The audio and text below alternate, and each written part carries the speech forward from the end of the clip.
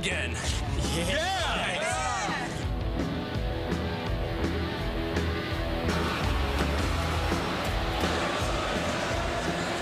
Tonight, the Duke Blue Devils once again have a chance to stake their claim as the nation's number one team. Wake Forest matches up very well against this Duke team. In fact, they won in Cameron Indoor just last year.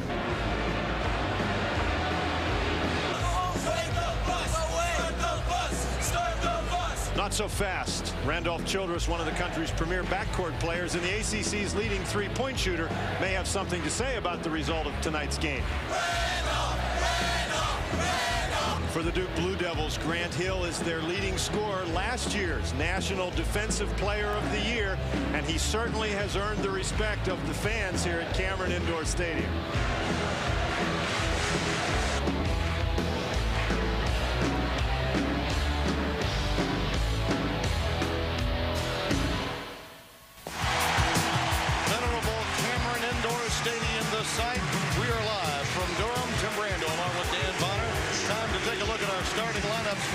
Game. For the Wake Forest Demon Deacons, Trelonnie Owens is one to watch, Dan. A real stabilizing force in the middle. Tim Trelonnie Owens is one of the most consistent front court performers in the Atlantic Coast Conference. Those are his overall numbers. He's been over 20 points five times. He's a guy who has to have a big game. For the Blue Devils, the swing player has truly stepped up in a key season has been Antonio Lang. Antonio Lang's only missed 25 shots from the field all season long. Might be slowed by an ankle injury he suffered against Brown. Mike Krzyzewski surrounded by his team. There have been a few distractions around college basketball, and he is one of the real spokesmen for the coaching fraternity. And as you might expect, a lot on his mind, not relative to this game, and just staying focused as the head coach of the Blue Devils is something he's been concentrating on. And we'll be touching on that issue, that, of course, the proposed or possible boycott by the Black Coaches Association. Right now, they've got number one on their minds here at Cameron. And the Demon Deacons, as we mentioned, are a team that Mike Krzyzewski's very concerned with because of matchups along the perimeter for Davey Odom's team. Dave Odom's squad comes in here full of confidence. They're small, but they play a three-guard lineup. They shoot the ball very well. He feels like they can defend the Duke Blue Devils. His team comes in here very confident. And that's one of the reasons why right there, Randolph Childress The ACC's leading scorer for the Demon Deacons. Well worth watching as this one gets underway and the toss is controlled to Wake Forest. And immediately Grant Hill matches up against Childress in the man-to-man -man defense by the Duke Blue Devils.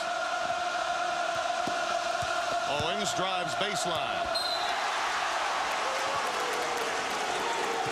Parks got caught coming in, but apparently Antonio Lang with the hand check will get the call. It used to be a cardinal sin in basketball, Tim, to ever give up the baseline. And that time, Antonio Lang gave up the baseline, but it looked to me like he was expecting help from the baseline side. It never came. We showed you Grant Hill. Not only is he Duke's leading scorer, but he'll have his hands full with Randolph Childress this evening.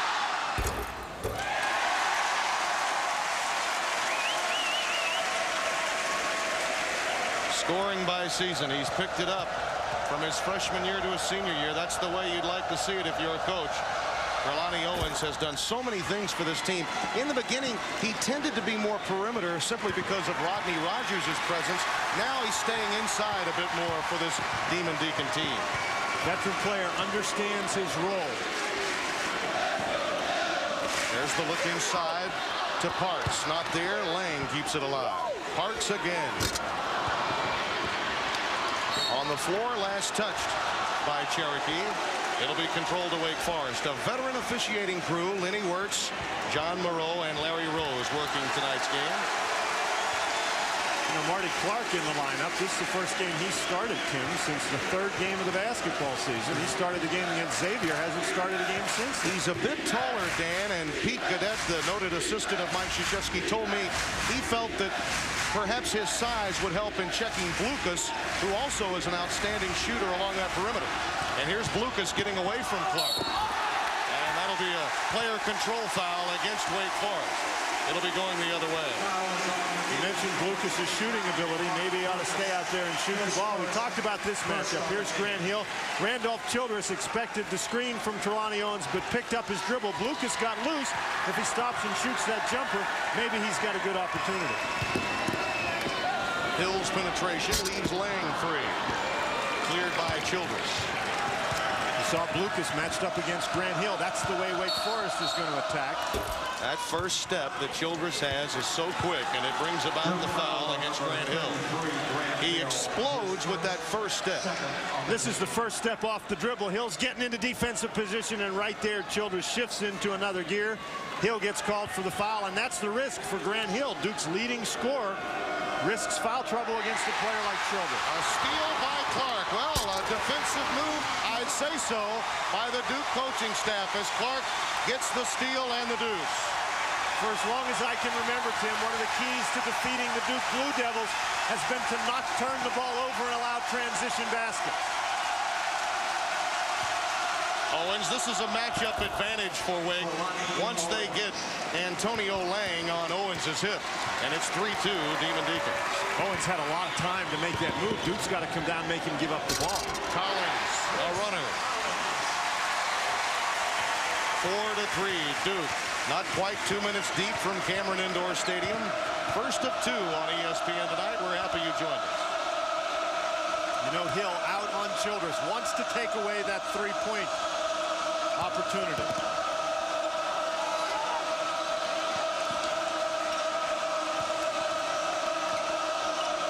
Duncan, who's been a surprise, comes high and finds Owens down low. A little high-low post action, and Trelonnie Owens has all five of Wake Forest points. Wake Forest doing a great job clearing completely out for Trelonnie Owens. Lang has no help down inside. Man-to-man -man for the Deacons. Hill off the dribble. Childress again claims it, Marty Clark ties him up. The arrow to Duke. Clark's really been a factor early in the ball game. A designated defensive starter, and it's actually ironic the criticism of Marty's game has been his defense not living up to Duke's standards as an individual while playing the team concept of Krzyzewski's defense. Cherokee Parks just inside the arc for two. Well, that may put an element of doubt in young freshman Tim Duncan's mind, but you've got to give Cher Cher Cherokee Parks that shot. Parks has played big in big games for Duke this year.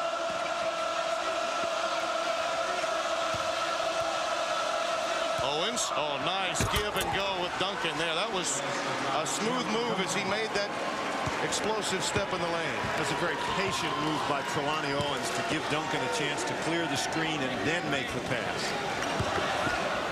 Collins, good duck under before the shot but it wouldn't fall. Good block out by Duncan, and Wake's very conscious of that. They're trying very hard to keep Duke off the backboards.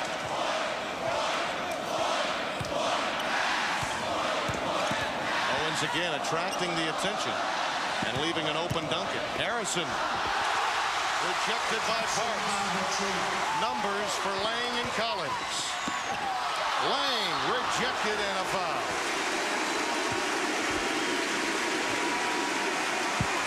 Starts with the defense. Duke's defense has created a lot of their offense for a number of years. The defensive play here by Cherokee Parks. Duncan doesn't really step to the basket strong enough. Harrison can't see him. And here's Antonio Lang handling the ball on the press. And then Lang actually gets to the basket and gets the foul. Watch as Cherokee Parks comes to this ball. Duncan stands, doesn't really give Harrison a chance to throw the ball. And Antonio Lang picks up the ball, takes it down the court, gets the pass back, draws the foul. And gets the proper reward. He came in with such great expectations out of LeFlore High in Mobile, Alabama, but now in his senior year, when Duke really needs the help, he has stepped up his level of play, moving from complementary to a starring role in certain games.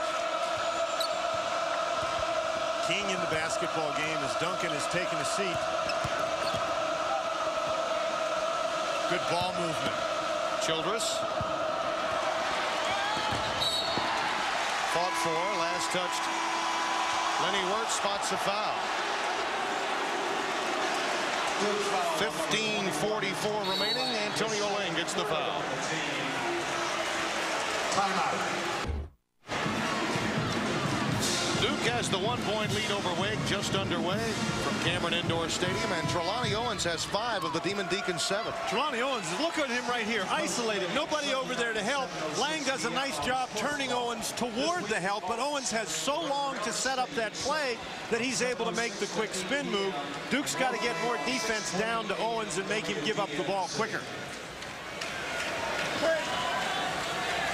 From the floor, the first eight games, he was shooting just under 50, but in the last five, he has scorched the Nets upwards of 65%.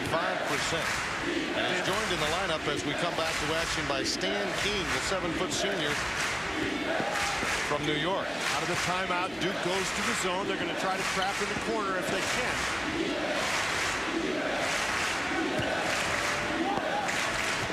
King flashes to the low post, but turns it over. He took steps. King is a young man who really hasn't played all that many minutes this year. Less than five minutes per game. He's only participated in eight of the 11 previous or the 13 previous games for the Deacons. He's in there because Duncan just can't go the whole way against Duke. Parks off the front iron. That's, that's what King needs to do. You, you get your big guy in the game. He can certainly block out. Nice job. Duke back to the man-to-man. -man. Childress hadn't had a shot yet.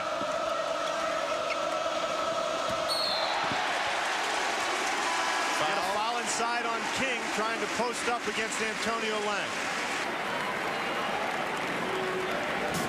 Sorry.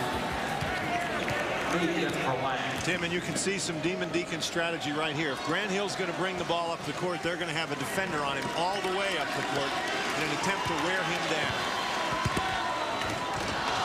Nice help there by Owens. Erik Meek was on the end line, and it'll go over to Wake. These are two teams, Dan, that frankly have been forced to tighten their rotation.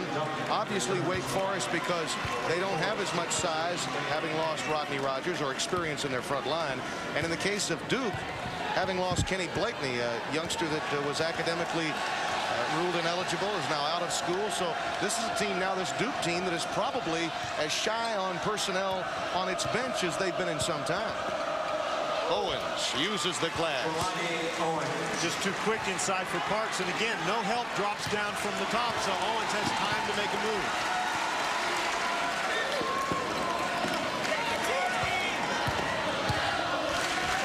Clark fading away. Marty Clark making good use of his first start in some time gives the Blue Devils a one-point lead. That's a good move by Clark. One of the best ways to defend somebody is to attack him, and he attacked Childress.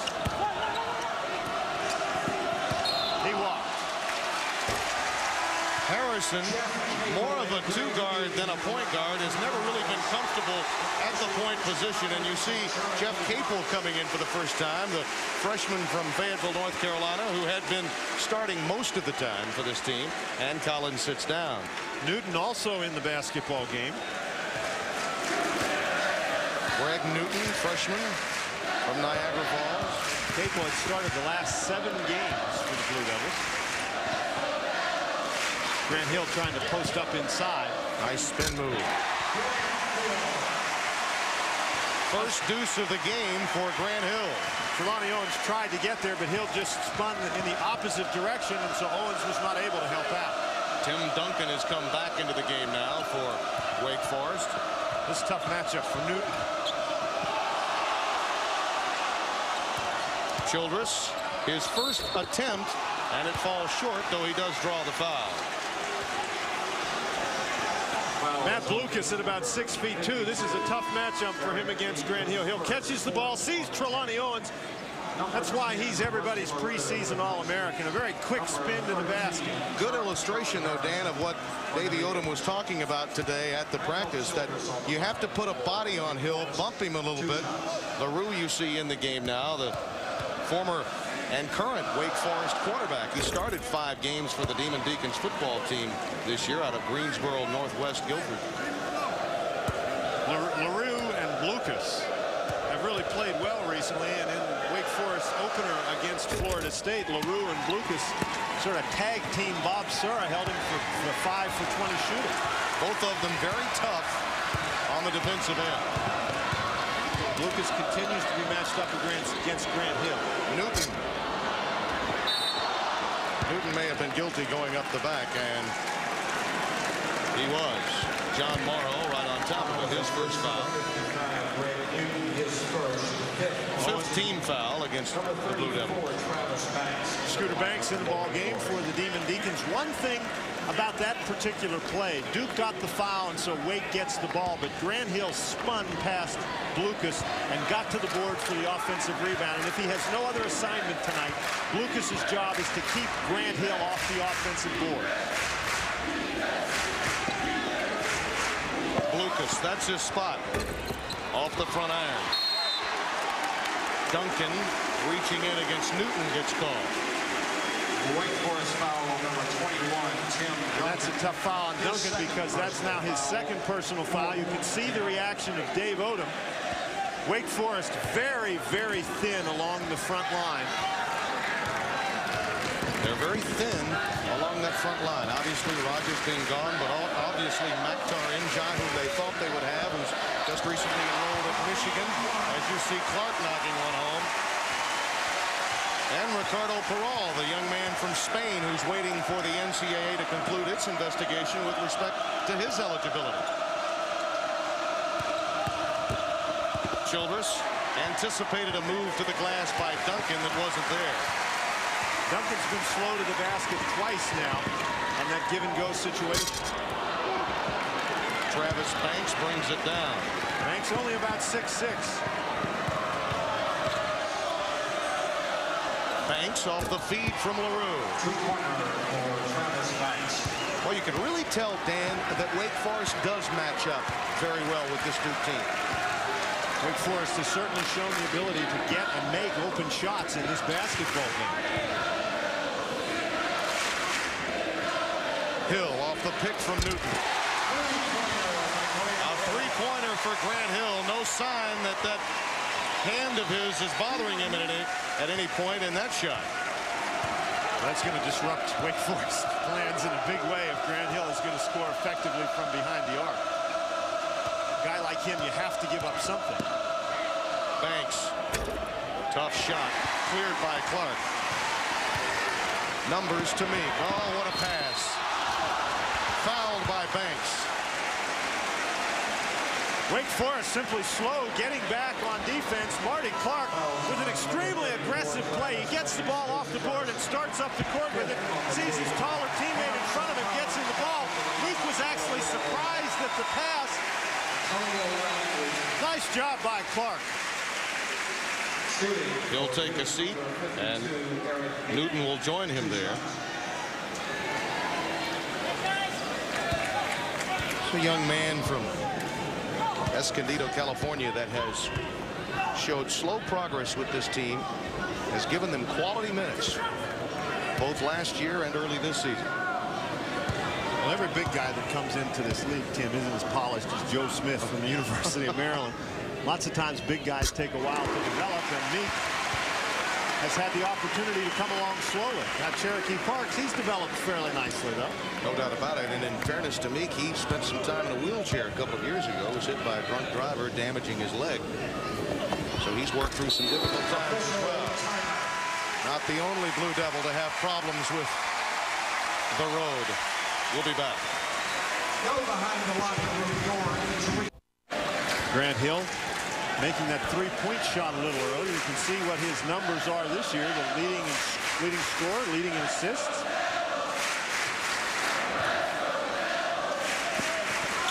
Duke with that zone defense out of the timeout. Childress for three. And And that's the danger. You go to that zone, you try to trap, and Randolph Childress might be open to shoot the ball in the basket from three-point range. That's also his first perimeter jumper of the night. Hartz. Oh, right in the face of Trelonnie Owens. This is very indicative of one of the problems Wake Forest is going to have. Tim Tim Duncan out on the out of the out on the bench now with two personal fouls. They're very small are the Deacons. LaRue runs that curl, gets past Collins. Made a nice pass, but Owens didn't come up with it. Eight turnovers now by the Demon Deacons. Lang. Good block out by Owens. Wake again a little slow getting back on defense, but it didn't hurt him that time. Duke back to the man-to-man. -man. Boy, Childress is quick with the basketball, Tim. Off the ball, he gets the pick from Owens, but can't do anything with it. LaRue. Shot clock now down to 12. There's that first step and a look to Owens. Rejected by Hill.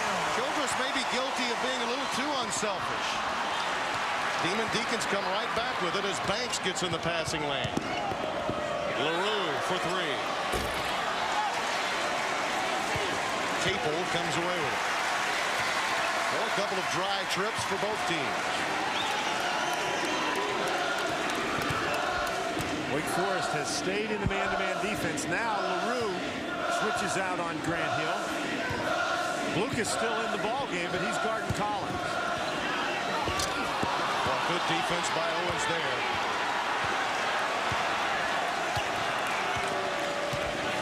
Parks ran out of shoulder room. It's a good move by Duke, though, to go to Cherokee Parks with that basketball. Owens, a couple of inches smaller. This is Owens' favorite baseline. On the, he's more of a left-handed baseline player. Wake Forest has had three straight very poor offensive sequences there. LaRue picks up the basketball. Not a lot of movement on offense. Only one shot and done. 16 fouls now committed by the Demon Deacons. The first on Rusty LaRue. Grant Hill takes a seat. Marty Clark coming back in for him. And with Hill out of the game, Blucas has gone out of the game for Wake Forest.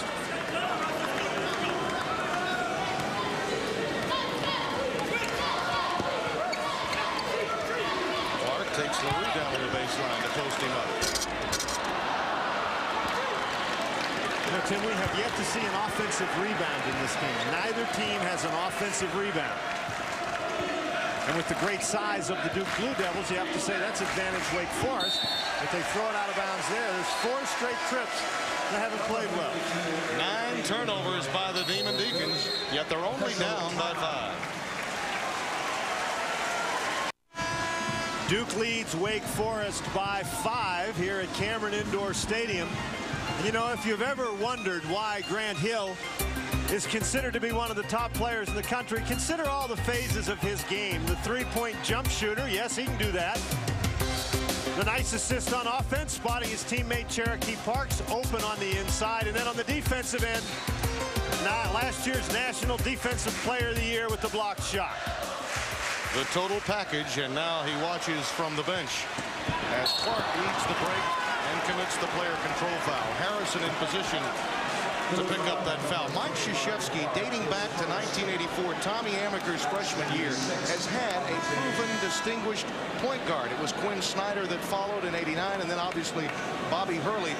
This is the first time he hasn't had the typical Duke point guard, and that means Grant Hill has to do more things, including taking the ball at the top at key times. As you see, Quinn Snyder, now an administrative assistant on the staff for Coach K.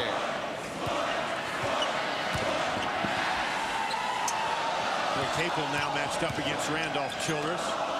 You know, Childress looks to me like he's a little slow to pull the trigger, Tim.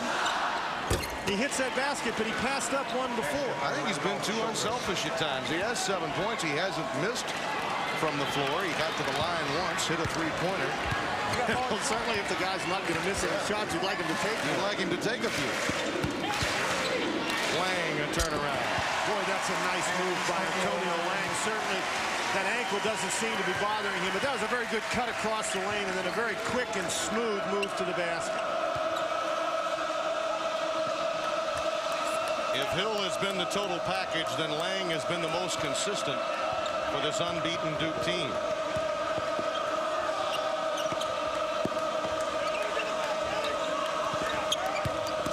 Pretty good cut. Banks off the back iron, cleared by Clark. Marty Clark has three rebounds. Get the idea that Wake Forest feels they can attack Antonio Lang on the offensive end because whenever Lang's guy catches the ball, it seems like he's shooting it, but Owens pulls Meek down there. That's pretty good takedown. Dave Odom may have gotten a tee. Oh, yep, Yes, he, he did. did. Lenny Wirtz got him. He was very upset with that call, and they teed him up. Well, again, Wake Forest much smaller. Trelonnie Owens banging in there, has his arms wrapped around him. Right there, he grabs him and pulls him down. That is a foul, and that is an excellent call. He grabbed him by the arm and pushed him to the ground. That's a call that has to be made. That inside play, one of the points of emphasis this year again in officiating. Dave Odom didn't like the call. It's possible that Dave Odom didn't see, since he was screened by the play, that he didn't see it. Now, was that technical foul called against Dave Odom or against Trelonnie Owens? It appeared as if Lenny Wirtz had teed up Davey Odom. Of course, our location is far higher than the norm here at Cameron Indoor Stadium, so it's a little more difficult for us to determine, in fact, who was the recipient of the technical foul. Well, the point is, if it's a technical foul on Trelonnie Owens, since it was an unsporting technical, that would be a, personal foul on Owens and a, a personal foul. It counts as a personal foul, so that's one foul for Owens for pushing Meek down, and then a second foul for Owens for the technical. Now, on the scoreboard, they still have Owens with only one personal foul. Well, Davey Odom wishes he had picked it up because then Owens would have one less foul. It's a seven-point Duke lead. That's a very tough break for Wake Forest.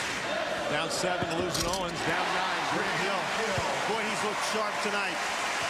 Very productive trip for Duke. Mark that one down. It came 14 minutes deep into the opening half. Owens with a foul and a technical that works out to be a four-point trip. Harrison a leaner. Gets the roll.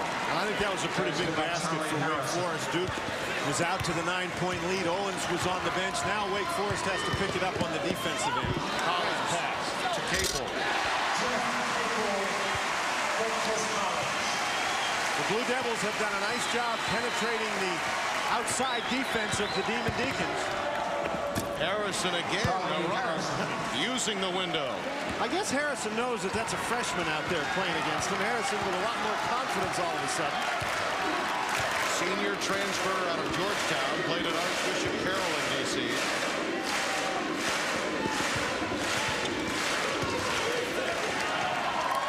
Duke trying to take step one towards possibly being number one next week. Parks staying with it. On the reach, Banks will get the foul. Tim Duncan is playing with two personal fouls. And he had to be a little careful against Cherokee Parks. Watch Parks get the ball. Gives the pass back out. Now watch him operate here against Duncan. The ball comes down. Duncan's got to be careful. Duncan doesn't block him out, and as a result, the foul is called. That was the first offensive rebound of the game for either team recorded by Parks. You see his numbers just under a double-double for the season.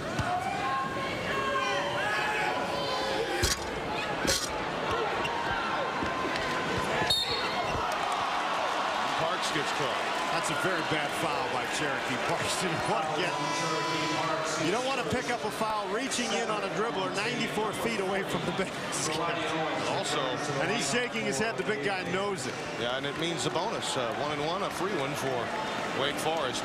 Seventh team foul. Cherokee Parks misses the free throw. Now watch him come down here. I think he's a little frustrated he missed the free throw, so he's going to reach right in right there.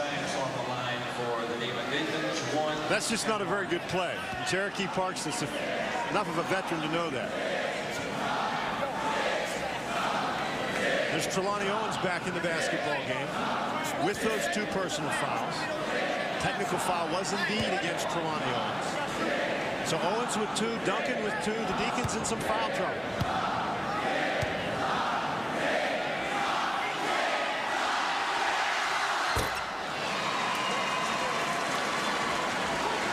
Travis Banks started earlier in the season and then is now coming off the bench. That's what he's shooting into. He comes up empty, one of two at the stripe. Cherokee will trigger it in. Have 10 seconds to shoot that ball on the free throw line, and Banks used about all of it both times. Clark with a penetration. Marty Clark has eight. Tim, that's what I mentioned before. Duke doing a very good job with the penetration. Wake Forest, it's hard for them to come and help because they don't want to leave those big guys inside. Game's largest lead of eight for the Blue Devils. Just under four and a half until the intermission. Childress blows past Parks. Short-armed it, cleared by Grant Hill. Numbers. Clark will pull up. Banks, quick outlet to Blucas. Followed by Banks. Mike Krzyzewski can't be happy about that. Two of his players ran the court, the other three didn't, and as a result, nobody was there to get that rebound. Banks dunked it in. That'll always get Coach K off the pine. Forest really hasn't been able to get out much in transition. Is that sweet? How about that crossover dribble to the pull-up J? Nine for Grant Hill. He makes it look so easy.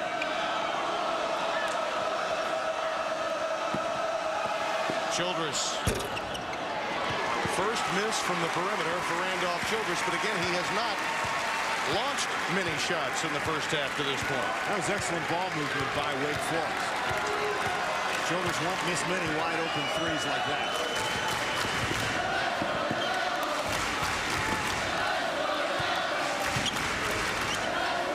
Speaking of not triggering many shots, Collins has it.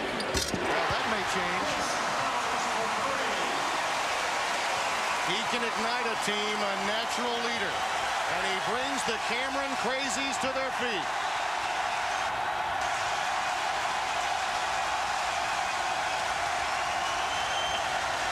Duke now in the zone.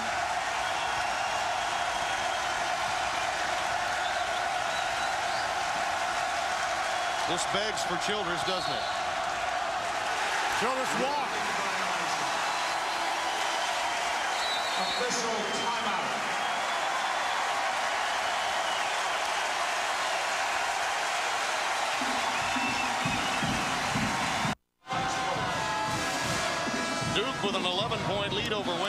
Forest. 2.34 remaining. That's the largest lead of the game. And one of the real keys to this lead is the lack of shooting from Randolph Childress. He's only taken four shots from the floor. Now, this is the ACC's leading scorer, leading three-point shooter. Now he's on the bench with only seven points. I mean, you need him to take more shots from the floor. I think the Duke defense has something to do with it, but Randolph Childress, in my mind, has passed up three or four shots. And that, that statistic that you gave, he's got no assists. He certainly isn't passing up the shots to create shots for other people. Trelonnie Owens picks up a third. And how big is that? With 2.22 remaining in the first half. Well, right at the moment, with 2.22 remaining in the first half, Dave Owen, Dave Odom has his two big guns on the bench. Trelonnie Owens with three personal fouls. Randolph Childress sitting on the bench. And that technical foul was really the catalyst to the double-digit lead. I don't think there's any question about that. Owens uh, lost his poise there for just a minute, and under the rule that went into effect last season, that's not a new rule this season. Last season, that technical foul, the unsporting technical foul, counted against your personal foul total. That really hurt Wake Forest. Talked about Cherokee Parks against top caliber competition. Sharone Wright most recently, he had the double-double. Juwan Howard, and we had the game here earlier. He had a career high 20 rebounds against Grant, who, by the way, could be a first-round draft pick out of Xavier. Number 10, Rusty LaRue. Childress gets back in. Down a dozen. Odom needs Childress back in the offensive arsenal. And with Childress back in the game, Duke is back to the man-to-man defense. Grant Hill picked up a foul very early against Childress, but he still only has one. Nice switch by Duke. Nice help by Parks. Nice job by Grant Hill to get back to his man. Harrison, we may have had a foul off the ball. We did. Women's NCAA basketball coming up later tonight, 12:30 a.m. Eastern Time, 9:30 on the Pacific Coast. Center Rhonda Smith and the Huskies take on Lisa Leslie and the Trojans of USC. Washington and USC, two top flight teams on ESPN. Make your plans to be with us. Cherokee Parks goes to the bench. That's two fouls now against Cherokee Parks. And Duncan is at the strap. Duncan has struggled this evening. Failing to scratch early on. There's the entry pass to me. Duncan with the rejection. That's pretty good aggressive play by a guy with two personal fouls.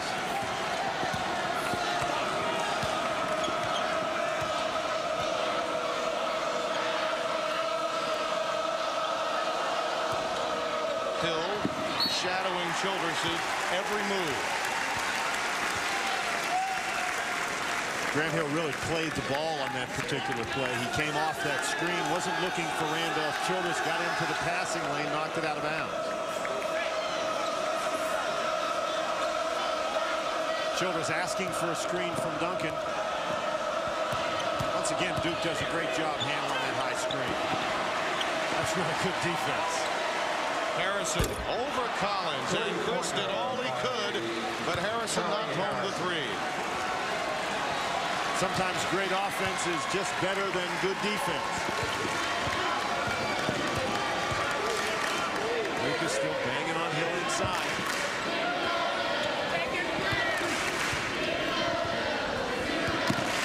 Good side cleared for Hill. Too strong. Banks, who's been very active on the glass for Wake Forest, brings it down.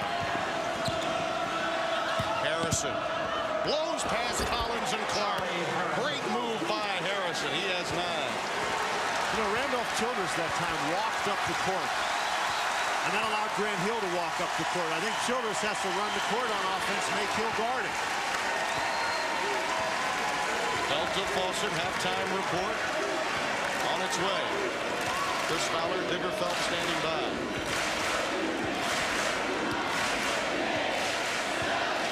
This tough matchup for Blucas out here. They got a body on him, didn't they? There's the help. Good defense by Wake Forest in That that would've counted. sequence. Yep. Wake Forest 30. Well, folks, we spare no expense in bringing you the best in sports excitement. Duke with a seven-point lead at halftime over the Demon Deacons of Wake Forest. We welcome you back to Cameron Indoor Stadium. Along with Dan Bonner, I am Tim Brando. You know, Digger touched on it along with Chris Fowler at halftime in reference to the proposed boycott of the Black Coaches Association this weekend. Ironically, the president of Wake Forest University, Dr. Thomas Hearn, made statements in San Antonio relative to integrity, meaning that if they went back to 14 scholarships after the reformists had gone down to 13, they would perhaps lack integrity by making such a decision. That angered Mike Krzyzewski to such a point that he made this particular statement. To say that you keep making rules without getting input from the people who live the rules and who represent the kids who are playing by the rules is appalling. He also said to just have a closed ear to the coaches group representing the coaches and the kids playing the game is wrong. Absolutely wrong. And further, I've seen it now for the last decade and the game is being hurt each year as a result of that. And Dan, I'd love to get your comments relative to that. We do know this much about Coach K. Those kinds of statements are in reference to the good of the game. Coach K has been interested in the good of the game. When you talk about somebody with integrity, Mike Krzyzewski is one of the first guys who comes to mind, at least in my mind. The thing that's disappointing here to me, there's not a business in this country or many organizations in this country that haven't faced some sort of financial difficulty. And as the chief executives of these companies try to think of ways to deal with it, they've adopted uh, concepts like total quality. And one of the keys to that is that you empower the people who are involved with executing the decisions in making those those decisions. And I think that that's something that the presidents haven't done. If the coaches constantly have to go as supplicants and not as partners, then the relationship just simply can't be a positive one. And regardless of what they decide, I think the presidents have to find a way to make the coaches a partner in these decisions. Uh, that having been said, we can also further make the statement that Coach K told his team prior to the start of tonight's game, and you see Mike Brey by his side, fellas, I don't know enough about this yet to make a decision. As soon as I know more, I'll let you know. He is the one that obviously is empowered with the responsibility of telling his kids what he feels is in the best interest of the game. And coming up at halftime of the Cal-Arizona game, you'll hear from Coach K himself. Tim, as we start the second half, Wake Forest on a they scored the last five points of the first half to cut into a 12-point lead, and it's very important that they start the second half solidly. Obviously, Childress will have to launch a few more shots for this team to be successful. He's averaging 13 shots at the basket per game. That was a nice play by Duncan there. He's going to get fouled by Antonio Lang. That having been said, look at the numbers. Childress just shooting four shots, and obviously seven points won't get it done. Grant Hill, four for eight. He has nine in the game, and also a number of assists that have led to baskets as well. Grant Hill has done an excellent defensive job against Randolph Childress, but particularly early in the half, Childress passed up a couple of opportunities that you would normally expect him to take. Antonio Lang picked up that foul. That's his third. He becomes the first Blue Devil in any foul to go. There's that Hill-Childress matchup. Remember, Trelonnie Owens has three fouls. Duncan has two. Shot clock at two. Childress will have to launch. Oh, great patience by the Wake Forest offense that time as Childress took it to the glass with some authority with only one second left. And that's now seven consecutive points by Wake Forest. That's, this little run has gotten them back in the ball game. The old coaching adage, it's how you finish a half and start a half. It's very important in any game. Nice help by Childress leads to the turnover. Duke really likes to lob the ball inside the Cherokee Park. Owens with a steal and a slam. Now that's two trips we've seen Childress go to the goal. You think Odom got in his, his ear at halftime? Well, Randolph Childress has come out very aggressively in the second half. You'd have to think that that's what happened at halftime. Marty Clark had a very nice first half particularly the start of the game, Tim. He really played very, very well.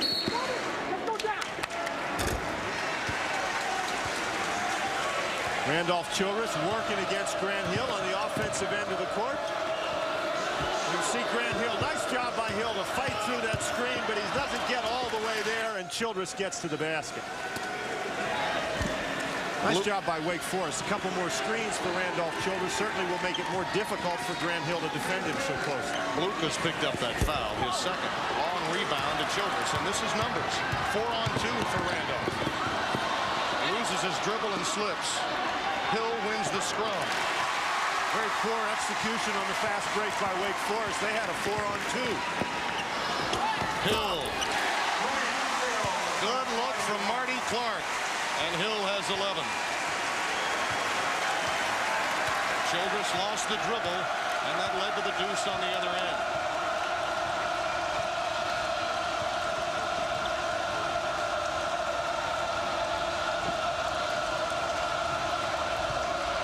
Duncan, wide open seam.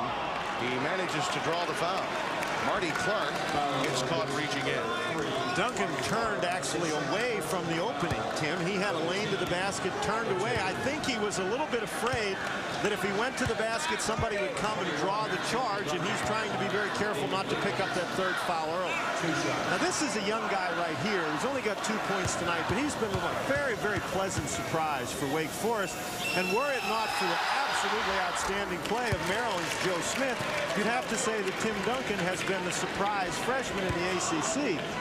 Keith Booth from Maryland having a very good season, but he came in very highly touted, as did Jerry Stackhouse and Rasheed Wallace.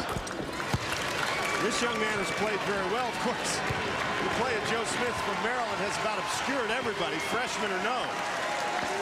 Great start for Gary Williams, his club this year. Parks cleared by Duncan.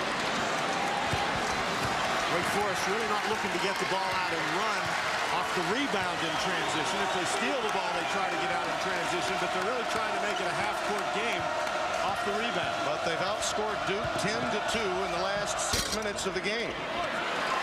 Harrison has been very aggressive offensively for Wake Forest. He's now five of six shooting.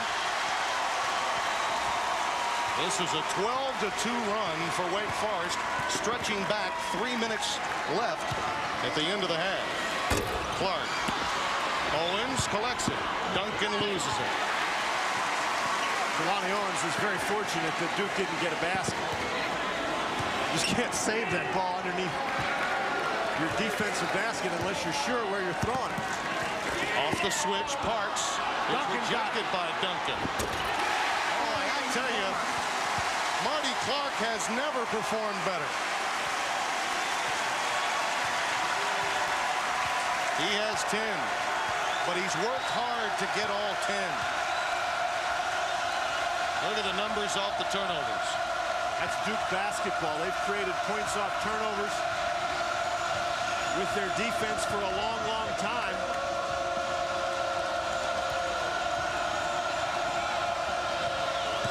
Blucas has a free lane.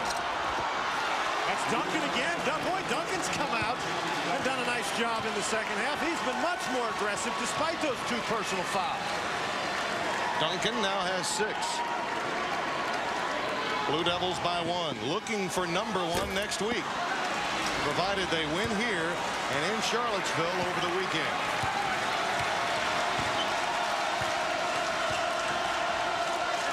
Owens, they leave him alone. Uh, he can step out and hit that one all night long. I mean, when Rodney Rogers was in the lineup, that was his role to step out and hit that shot. Wake's got the lead, Tim. First Wake lead since it was 9 to 8. Harrison on the run. Fouled by Hill.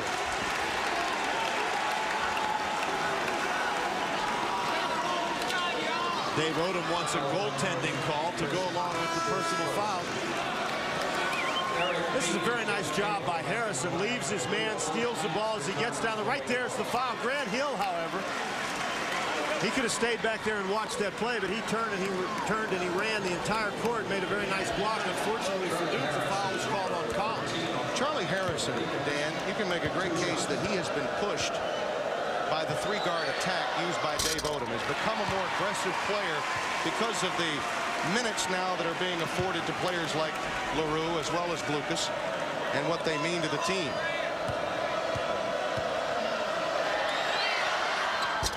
The Demon Deacons, who trailed by 11, have outscored the Blue Devils by a bundle since.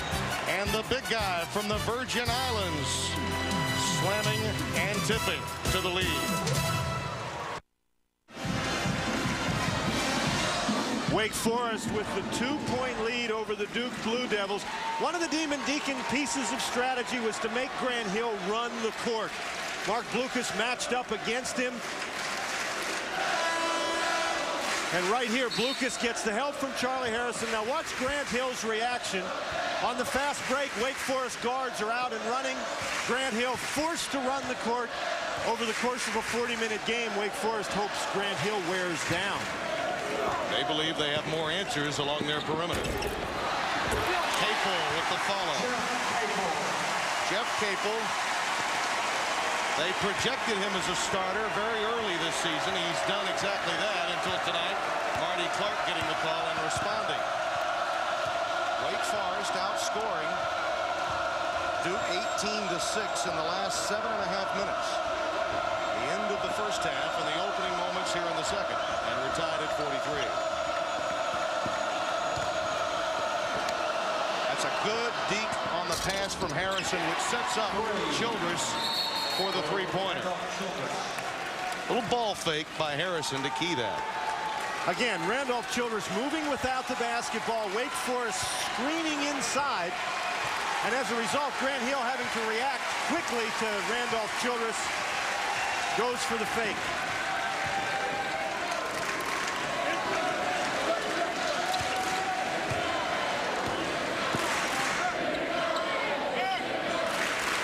Wake Forest man-to-man has been effective, particularly in the second half. Owens and In position to pick up the foul. It's Blucas his third. And again, a reminder, remember last night, Donald Williams, an offer. Travis Best played his best.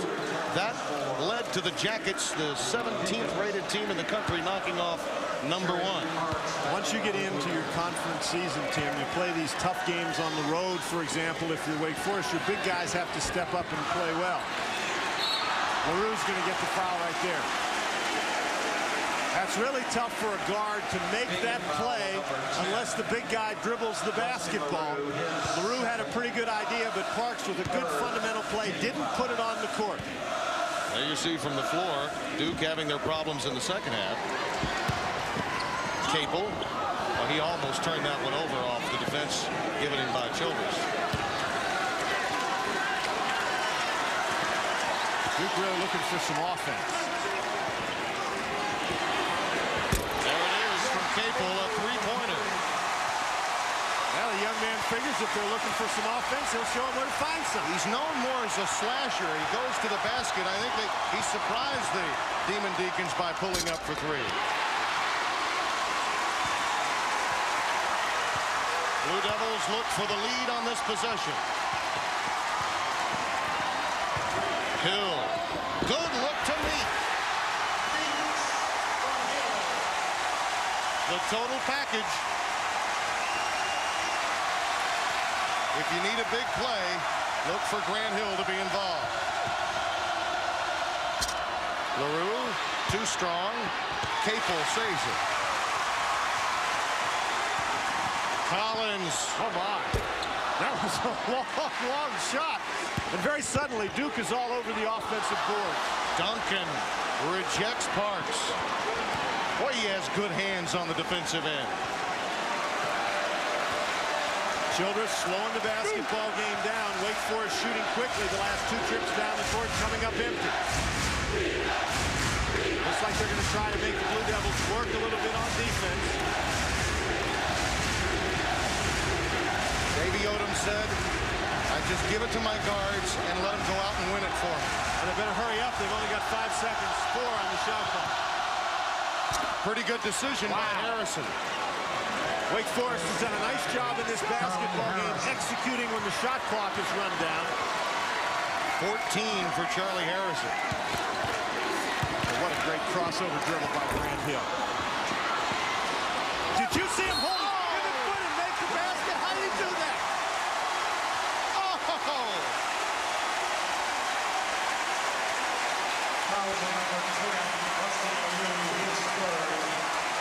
Yeah, you're right. We're not worthy. That's a special play. Wake Forest has done a tremendous job keeping him from the offensive board. LaRue is on the ground, but there's Grant Hill. Watch him catch this ball, hold his pivot foot, get it back up. Even though LaRue's got him locked up down around the legs, that's a great play. Good grief. The other thing that he's done this year with this team is exert himself vocally on the floor. That was one of the real strong points of Bobby Hurley with the past few Duke teams. Now Hill is doing it both with his play and with his leadership.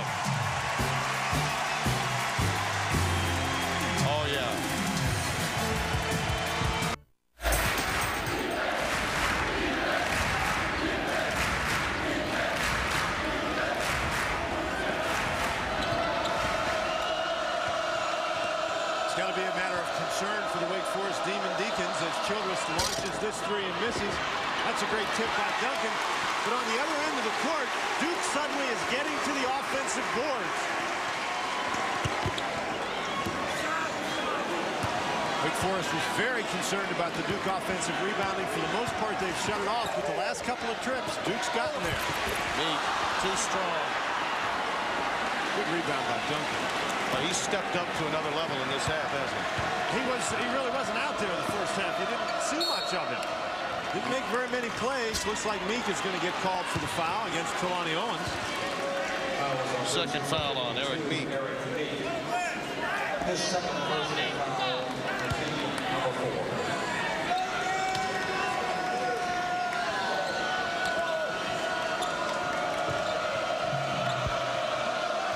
Duke in the zone defense on the inbounds play.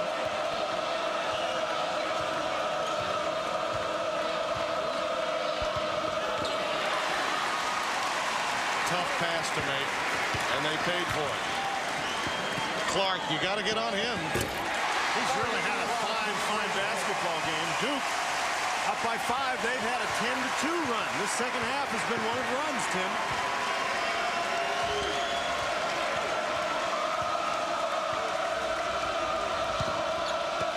Childress trying to create.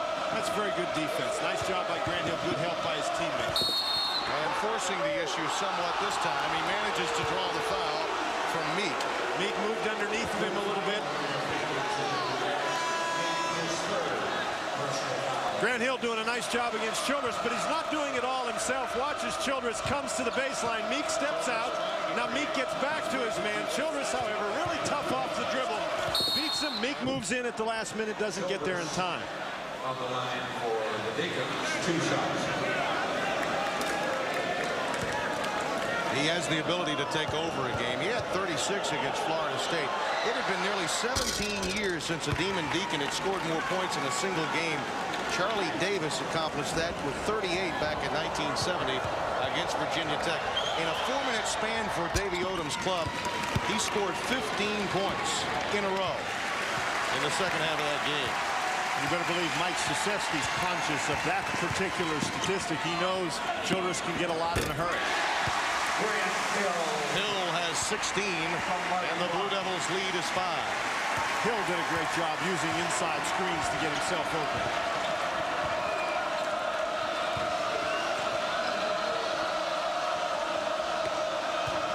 You see, Duncan really wants the ball in there with Meek, but just can't come up with it. Now he flashes high.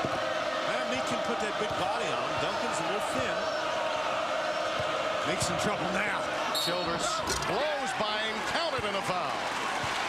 Wake Forest did a nice job being patient out on the perimeter as those Duke big guys step out to help. They force the switch, and as soon as Childress saw Meek matched up against him, he drives aggressively to the basket. Meek looking for help. You can see Meek look over his shoulder. Nobody there to help out. Childress gets all the way to the basket. Meek just no match for him out there. Capel's going to get the foul reaching in. See, Childress is very pleased at the end of that particular play. You know, he's been out there looking at Grant Hill all night. He had to be very pleased when he saw Erik Meek standing there instead. Number 34, Travis Banks. Travis Banks coming back into the game. Replacing number 25, Replacing Blucas. This is about as big as Wake Forest gets. They've got their three quote-unquote big guys in the game. Duncan at 6'10", Banks at 6'6", Owens at about 6'8".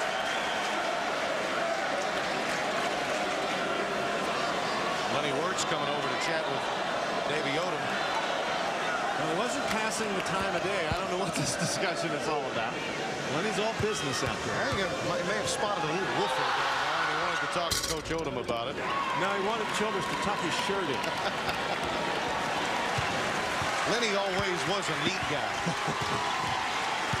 Clark draws the That's foul. Trelonnie Owens. That's four. And the playmaker is at a premium tonight with Jason Kidd going up against arguably the best tandem of guards in the country. Arizona's Khalid Reeves and Damon Stoudemire as Arizona takes on Cal, number six against number 19, immediately after our game. Tim, you very rarely see a young man go and beg the referee to call the foul on him, but that's exactly what Randolph Childress did right there. That's his first personal foul. Had it been called on Trelonnie Owens, that would have been four on Owens. Marty Clark at the strike. Clark continues to make things happen out there with his aggressiveness, both on the offensive end and defensive end. He's got 14 now. 13, excuse me.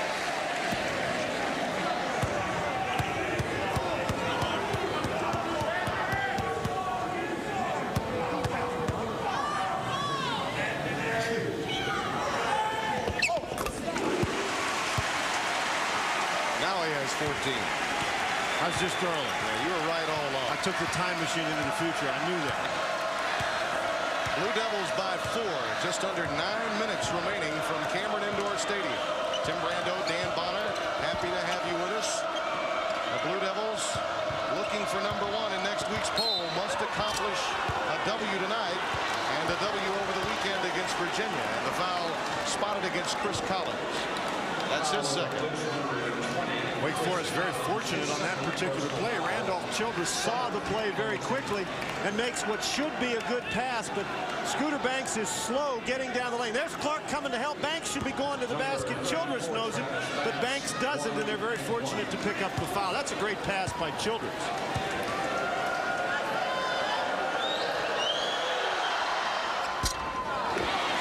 Owens the offensive rebound.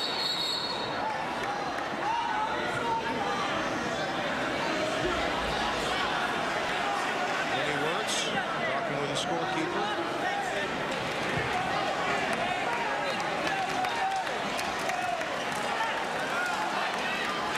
Not exactly sure why we had the stoppage of play. Again, from our vantage point at Cameron Indoor Stadium, the, those incidental stoppages of the game and conversations are difficult for us to discern. I think that Lenny Wirtz pointed at the shot clock. He seemed to see some problem with the shot clock, but it was rectified very quickly. Or we get just a couple of seconds off the shot clock needed to come, and they got that. Owens finds Childress. Parks takes it away. That's a tough break for Wake. They had a good opportunity. Unlike early in the first half when Owens really could do whatever he wanted down inside, he hasn't been very open. Collins wanted a foul from Childress. And he better be careful he doesn't get a technical. There's Duncan. Boy, are they leaving him wide open. Finally, he gets the roll. The Tim, you know, there for. It's amazing. They left him wide open. He turned the wrong way again. Took the jump shot instead of the dunk. Chris Collins and Harrison tie up, and Harrison will pick up the foul. Chris Collins, easily the most emotional player on this Blue Devils team. The heir apparent perhaps to Hurley once his total game picks up. That'll get your dander up. We'll be back. As you look at Grant Hill's numbers, the Wake Forest strategy in this game was to try to make sure that Grant Hill had tired legs for the last seven minutes. Well, we've got seven minutes and 14 seconds left in the game. We'll see how that strategy works. The Demon Deacons right where Dave Odom would like to be. Although Grant Hill is not whom he'd like to see with the ball. Randolph Childress comes out of that timeout guarding Grant Hill. I guess we're down. We're getting serious now.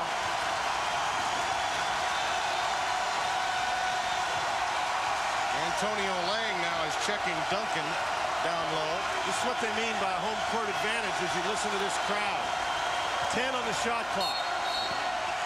Duncan does get pushed by Lang.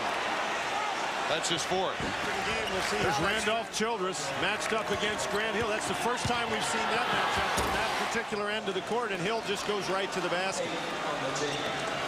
I think that was a mistake by Randolph Childress to go for the steal. You want to keep yourself between Grant Hill and the basket, and if Grant Hill is going to beat you with the jump shot, then you're just going to lose the game, but you shouldn't go for those steals and give him those easy opportunities. Tim Duncan at the line. And much better opening moments in this half. Those empty trips at the stripe won't help the cause.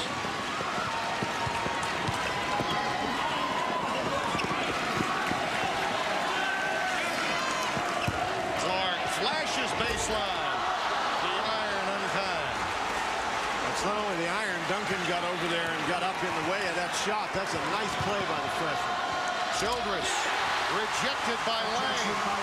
They can't believe that wasn't a goaltend. Collins. Owens clears.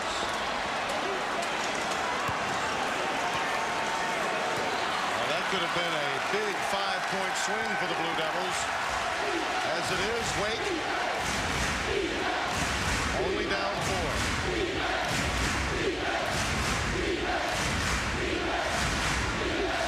Controlling it out front. Shot clock down to 10.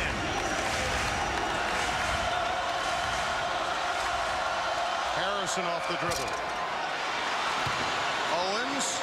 Good look. Oh, what a nice move by Owens. Cutting away from Banks, who threw him a nice pass. That was a great rebound by Banks, but Owens with the head fake, the pivot, he got around three guys trying to block the shot and got the dunk. Banks now going to match up against Grant Hill. Pretty soon you're going to have to go down there and guard him. Oh.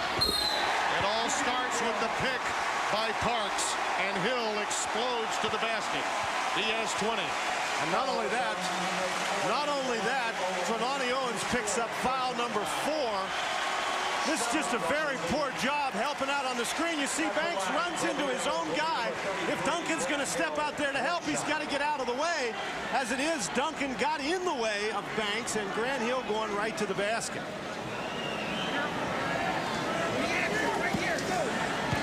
I'd say Grant Hill's legs are still fresh.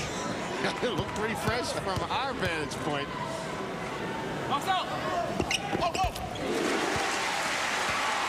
So far this season, we've seen North Carolina number one twice, Kentucky once, Arkansas once.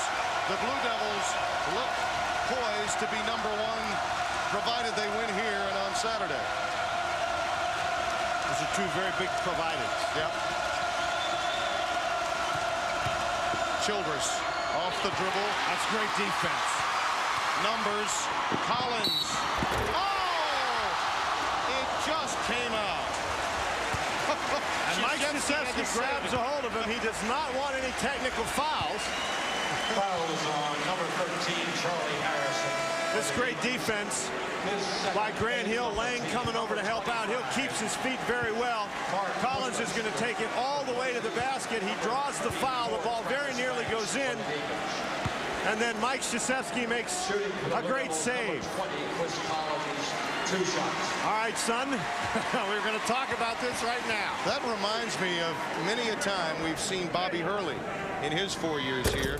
That emotional. As a matter of fact, last year, Coach K had to call a couple of timeouts just to settle Hurley down.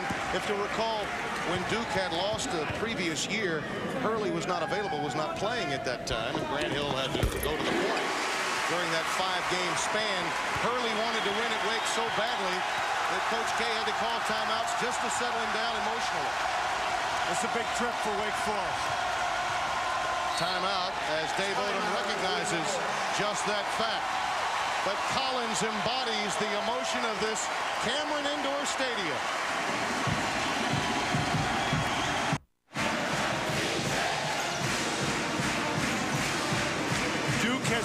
To the seven-point lead. One of the reasons Randolph Childress only one of his last five field goal attempts. Now, why would that be? Well, one reason is he's got a shadow there. Look at Grant Hill's eyes. Looks like he's looking down the court, right? No way. He is shadowing, watching Randolph Childress all the way.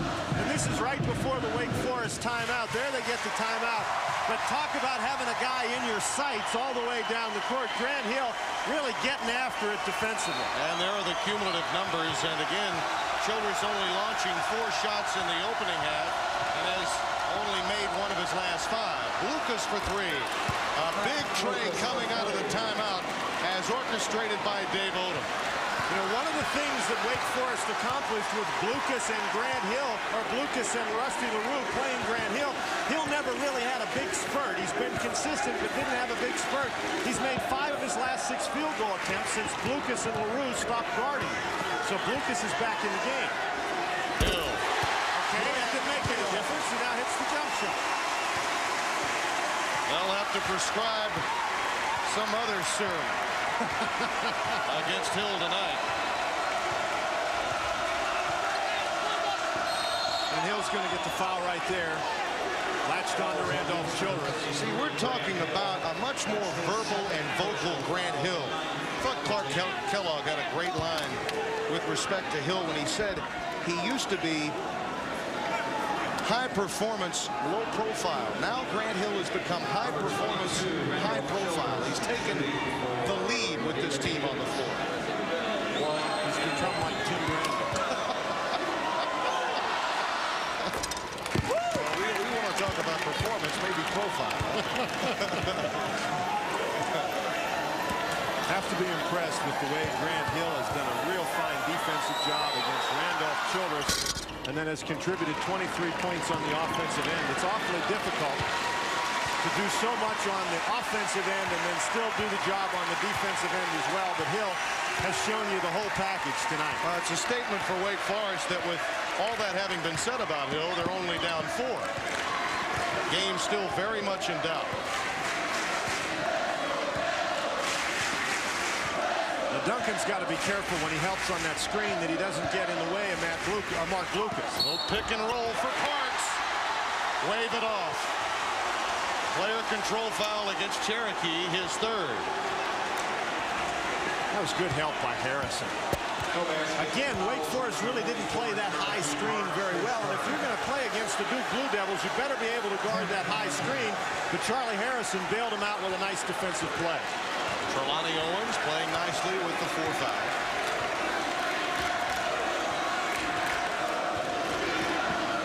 Blucas runs away from Clark.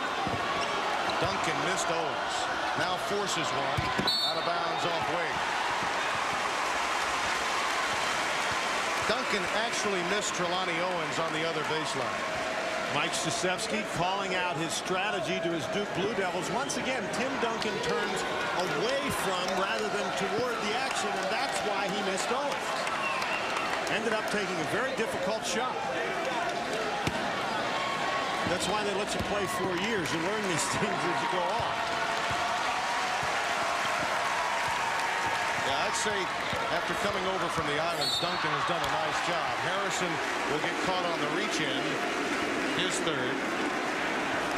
Interesting story 13, Charlie Harrison. on His third, ninth on the team. Grant Hill has been bringing the ball up the court a great deal for the Duke Blue Devils, but at this point in the ball game, Mike Krzyzewski turns the chores over to Chris Collins, who uses his body very well to keep Harrison away from the ball and draw the foul. I was about to mention the story on, on Duncan.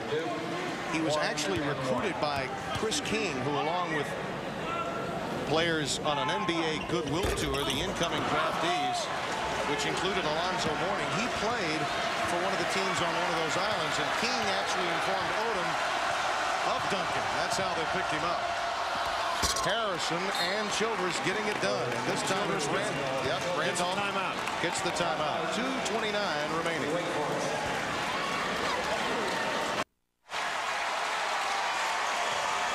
Coming down to cases at Cameron Indoor. The fans cheering their Blue Devils up two with 2.29 as we reset it for you. Tim, Grant, we've talked about the Grant Hill Randolph Childress matchup all night long, and it's been an outstanding matchup all night long. Look at Hill trying to force him down the side. Childress with the reverse dribble gets down the middle, immediately calls the timeout. Duke was trying to force Childress down the side, but he took it to the middle. There's the trap. Owens with Clark, and it's over and back. It goes to Wake. Mike Krzyzewski now calling timeout. Nice work by both Owens and Blucas that time. Trelonnie Owens due in large part to that turnover. I think Mike Krzyzewski, right at the moment, I don't think there's a lot of strategy discussions going on in that huddle. I think this is a time of a basketball game where Mike Krzyzewski's telling his team that they've got to be tough. Toughness is more important than strategy. In a game like this, at this particular time in the basketball game, you have to hold on to the ball.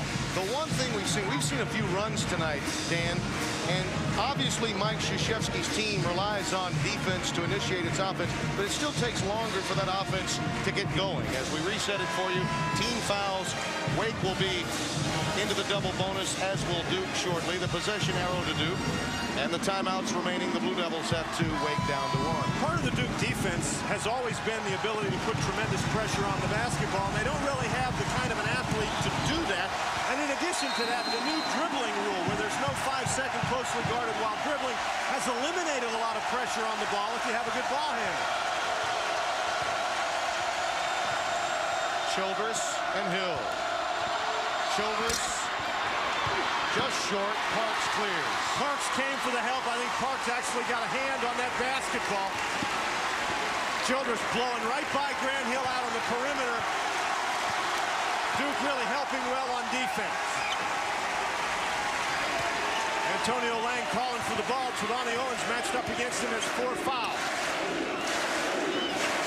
Parks has been quiet in the second half. Where's he throwing that? Yep. Over and back again. Two times we've seen the Blue Devils make that error, and that is very rare for a Mike Krzyzewski coach team.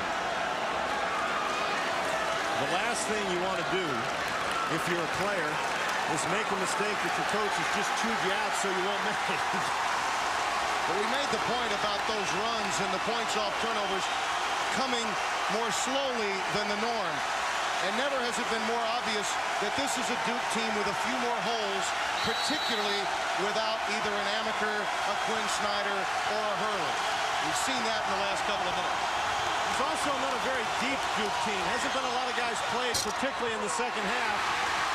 That's a tough three-point shot right there. That's pretty good defense. That's the kind of toughness that Mike Krzyzewski wanted to see. Now they've got to show that same toughness on this end of the court. When the game's on the line, Hill has the ball. At the top. Childress gambled. Well, Clark couldn't make up his mind. Clark has played so well tonight. Got in there and didn't have the confidence to stick the open jump shot. And as a result, looked for the pass, and then as he was coming down, he just threw the ball up there. Under a minute left.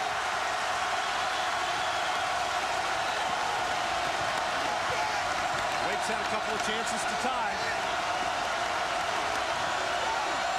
Oh, they run both Lang Childress. Ten seconds. Harrison. Larry spots the foul, as does Lenny Wirtz on Collins. It is very obvious that Wake Forest feels that they can take advantage of that particular matchup.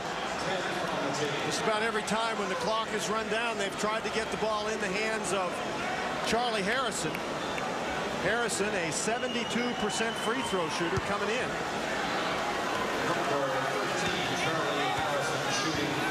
There's Chris Collins. Get the idea that Wake Forest feels, as Dave Odom told us before the game, that he has confidence in his backcourt.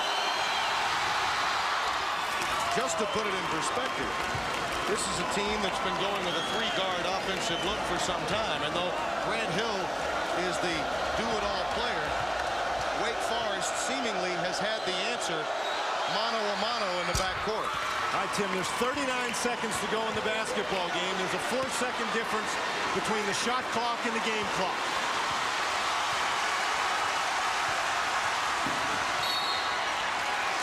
And a hand check called against Childress.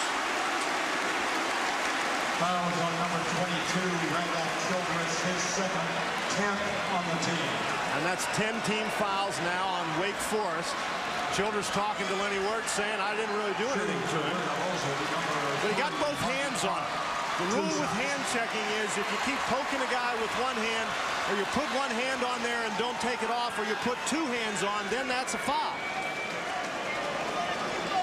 Watch him get both hands. I guess he got him with the ball. I thought he got him with both hands. Well, Childress not very pleased with that one. So it's a good explanation for the rule, but in the wrong spot.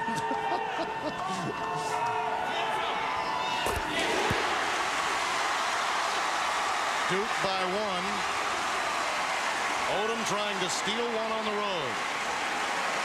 The shot clock is off. There's 32 seconds left in the basketball game.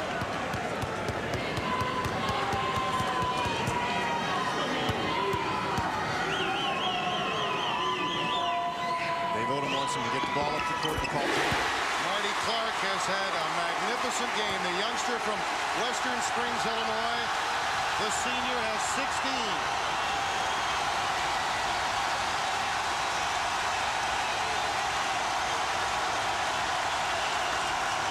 He's going to let him play it out and run a clear out for Childress.